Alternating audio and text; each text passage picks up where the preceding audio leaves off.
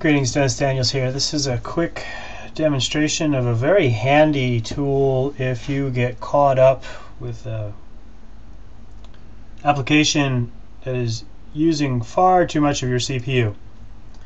Let me show you what I mean here. Uh, the name of the application for you Unix Linux users out there is HTOP. You're probably familiar with it already, but for those who don't know it, give you a quick demonstration right now. Fire up a new terminal, Control Shift N, and now I'm going to type htop. Actually, I typed ht and then tab, and now htop. And what this will do, it's going to tell me exactly which CPU or which application is using most of my CPU. And right now, you can see that Nautilus is the big user. It's got uh, 12, 13, 13, 12. and in terms of total memory being used, I'm using um, roughly 20% of my total RAM.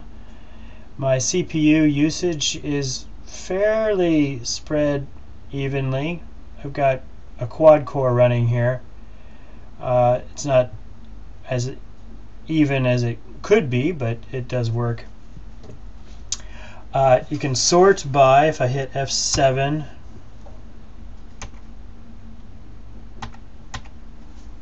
yeah, F7, there we go. So now it's sorting by what? I don't know.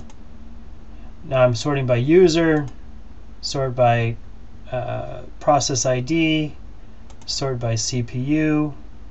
You can see it's changed uh, sort by memory usage. Again, Nautilus is the big one. and escape to cancel out of that. One of the things that uh, I find quite useful is we can search for user or applications that might be causing trouble. So I'll search for HTOP and see where it is. Okay, so there's HTOP right right there is what we're using and I can see the PID. So 15868, if I wanted to kill that particular application, then I could go F9 and then type the um, type the name of the application or rather the the number of the application I want to kill, which would, and you know, as I demonstrated earlier, might be htop. Or what happens to be selected now, this application, if I hit enter, then it would kill that application. I don't want to do that, so I'm going to hit cancel, escape, and that's HTOP. Very handy. Uh, use it as often as I need.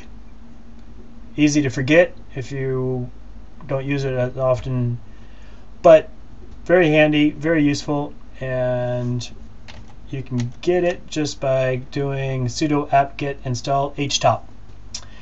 Thank you for watching and happy computing.